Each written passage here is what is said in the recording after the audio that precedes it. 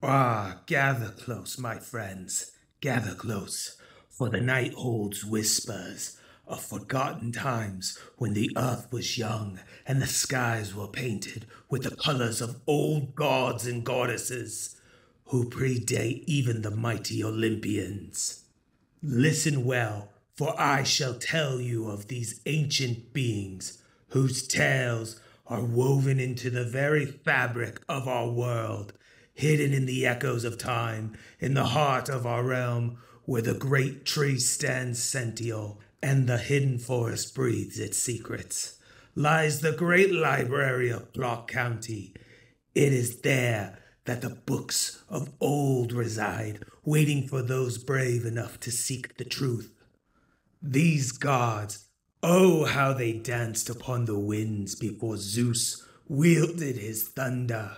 There was Avas, the god of procrastination, who cast the first rays of dawn and Elipid, the demi-goddess of the lost, and Morphia, the goddess of chaos, surrounded by her sweet and scary hippos. Their stories are like rivers flowing through the ages, carrying wisdom and power. Imagine, if you will, a time when the mountains spoke and the oceans roared with their laughter.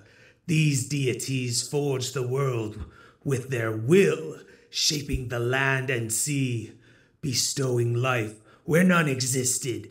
But as time turned and the skies darkened, the reign of the Olympians rose, overshadowing the old gods.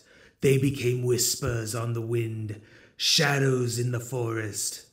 But do not despair, for their stories live on, inscribed in those sacred books within the library's walls. There you may see the great sea king himself, Poseidon, ruler of the seas, that does not like to be restrained, but now is as well. He's he's the Camp Half Blood head counselor uh, for young demigods and creatures of old. Uh, so, dear seekers, if you yearn to know the origins of our world, if you wish to understand the roots of our very souls, venture forth to that hallowed place. The great tree will guide you, and the hidden forest will protect you.